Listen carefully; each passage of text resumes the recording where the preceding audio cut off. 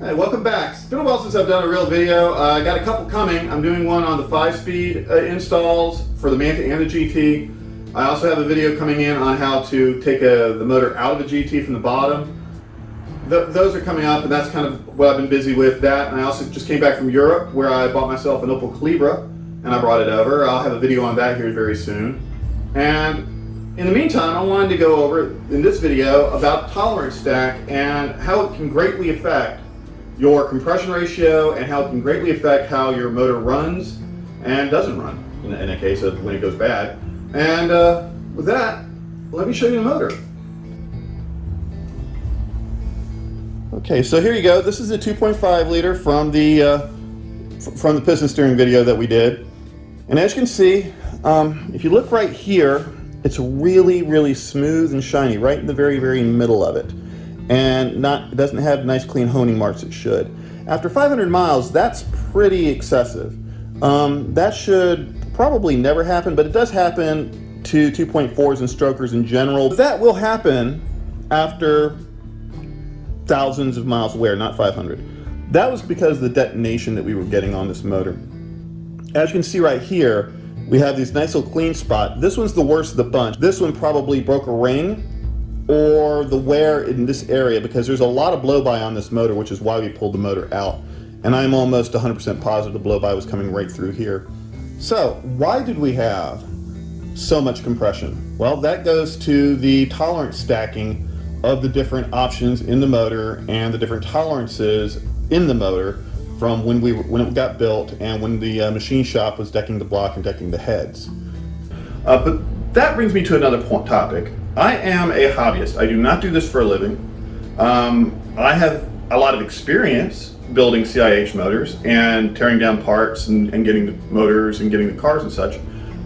But what does that really mean? It really means I have a lot of experience screwing up.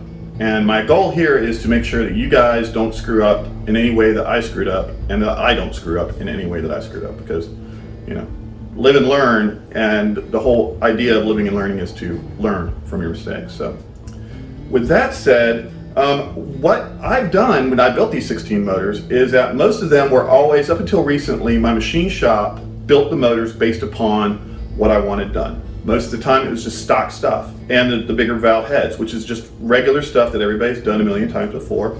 And I would assemble the motors, put the timing covers on, put the oil pumps on, put the oil pans on, and mount the head and do that, that sort of stuff, just assembling the motor, literally. I was not building the motor, I was assembling the motor. The other problem we, uh, other not, I wouldn't say problem, but the other thing that went on is that with these bigger motors, I was doing basic research through other Opel people and what they had done over the years because a lot of this is a uh, roads have been traveled by a lot of different Opel people over the years.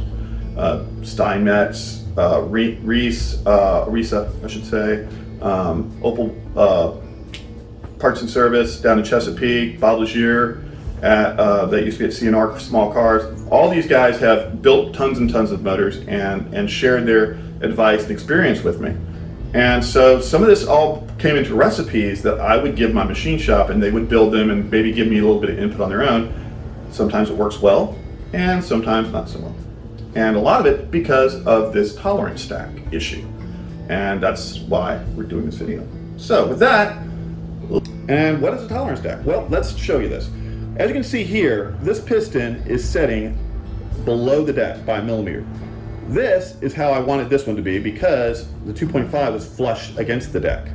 That's going to lower my compression and should help me. That happened because the 2.4 liter block and crank here has a rod that's 134 millimeter and the 2.5 has a 135 millimeter rod. So that one millimeter, you, you see the difference right here in the top of the head. So that's a little bit of the stack. But the real stack comes in, as you can see, the block here is nice and pretty and cleaned and decked as clean as it could possibly be. The machine shop took off metal here.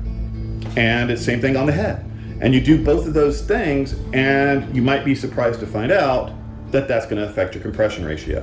One of the things I've learned is back when I've been building these motors, if I would have, uh, I would have some of them that would give me 140 compression, some of them would give me 180 compression, and I'd have some, and usually those are the problem children, like the 2.5 uh, motor, that I have, the prototype, they would be running 205, 210 compression. What's really interesting is that generically cannot correlate uh, the compression test results with actual compression ratio. There's a lot more in play here. There's your cam opening position and a lot of other stuff. But I'm getting ahead of myself. So first off, we need to figure out the displacement and the compression ratio. The displacement is going to be easy. That's your, your stroke times your bore, and you have your displacement. The rest of the calculations do the compression ratio. That's where it gets to be a little difficult because once you have your displacement, that's only part of the puzzle. Because your compression ratio is actually more involved. You really have to figure out how much you have in your chamber when the piston comes to the top dead center. How much did you bring in and how much did you compress? And that's your compression ratio. As you can see here in the yellow, you have all these things you can basically measure and calculate. The hardest part of this equation is going to be the wild card, the machining loss you've lost during, due to decking of the head and the block. And that's where it kind of gets a little tricky. Now, one of the things to note is that they usually deck a tenth at minimum oh, uh, when they deck. That is 0.25 millimeters. Now, if you ask your machine shop before you deck, have your motor built, and you have a fresh original virgin motor, you should be able to get some kind of idea. You'll notice that my machine loss is like 1.75 millimeters because this head and block had been decked at least twice. I think they were pretty aggressive on it. So just doing that, you can kind of see here on our stack how things played out you'll see here that the difference between just what your standard 10 over on both the head and the block would be is enough to jump you up a full half of a point of compression. And going from 9.8 to 10.4, that can be a pretty big jump and can really affect how your motor runs. So now we got to understand that. Now how do you solve this problem? If you have it, it's not easy enough to just weld some metal back on and have them replane the motor. You can't do that. Well, fortunately, uh, there are multiple different head gaskets. Now, the basic two head gaskets you can still get today are the L-ring head gasket, which is a blue head gasket, and it tends to be a little thinner. It's a little bit better quality built, but it's also a little thinner, so that's something to consider. And here you can see uh, on these listings that they list them as 0.8 millimeter for the L-ring and 1 millimeter for the, the Victor Reinz. And one millimeter is what I tend to see on the head gaskets I have. Now, these are Cometic head gaskets. Now, Cometic makes a head gasket from 0.04 to 0.08 thicknesses, which is basically one to a little over two millimeters. And this is a compressed size, it's a compressed thickness. They're much thicker when they're not compressed. And these are the ones that, that I'm using on, on my motor right now. So, when you look at your head gasket combination here, uh, you can see that every little bump into your head gaskets, the first four there, can can make a whole whopping change. Um, a good example is with the with the L-ring gasket, you're going to be running closer to 11.6 compression, and running the Cometic 08 gasket, you'll be 9.9 compression, and that's all based on your head gasket the head gasket selection when you're making some of these motors make a massive amount of difference. So going back to our uh, calculator, at Wallace Racing they will have this cranking compression calculator along with the other kind of calculators that I based my spreadsheet on. As I mentioned generically, you cannot correlate your compression ratio with a compression test. Well, with this calculator, you can do that to a certain extent. As long as you know what your rod length is and what your inlet uh, your inlet valve closing is on your cam.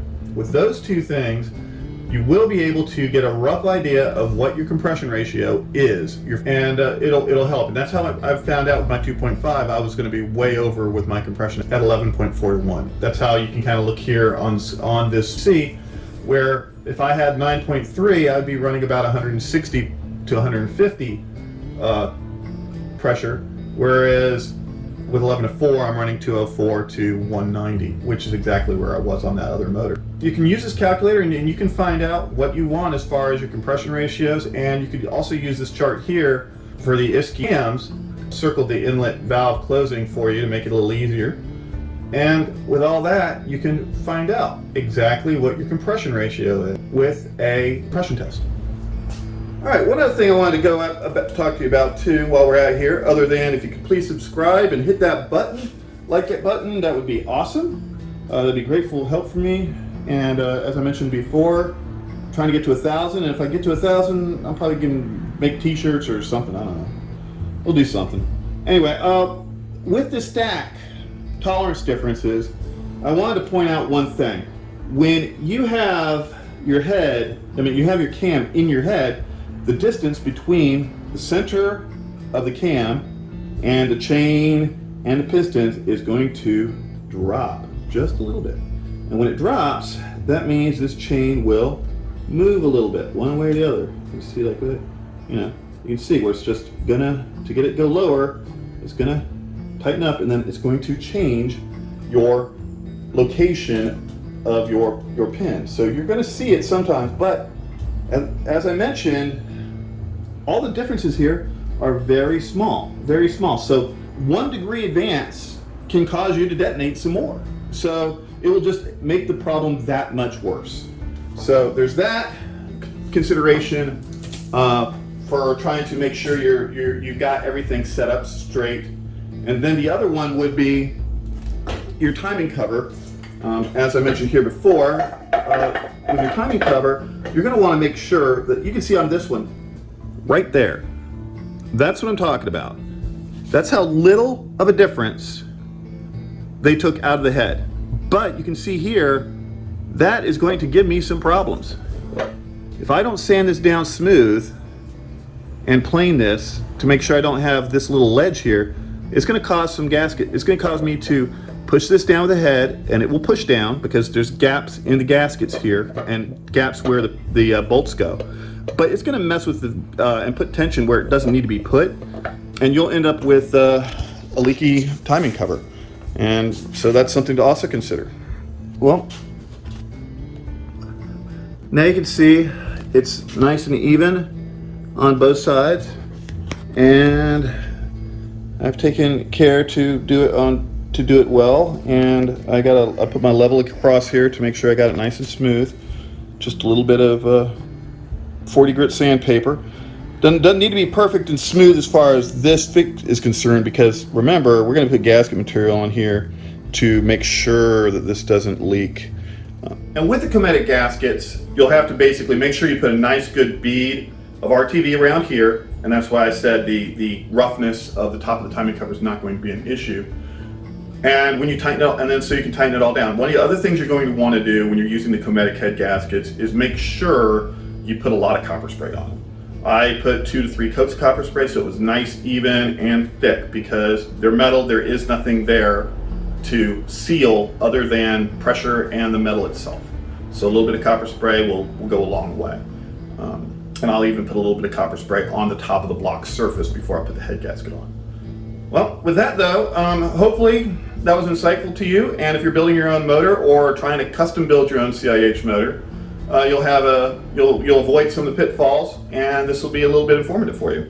And again, if you like the video and you like my videos, I'd really appreciate it if you subscribe and uh, hit a thumbs up for me if you really like this video.